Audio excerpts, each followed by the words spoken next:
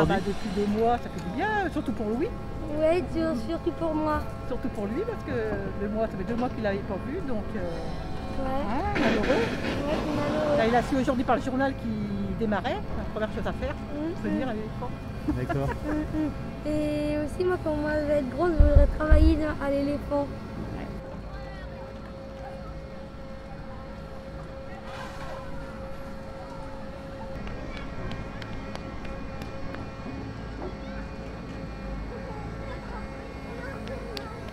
Se bouge. Allez, on se pousse maintenant, chacun son tour.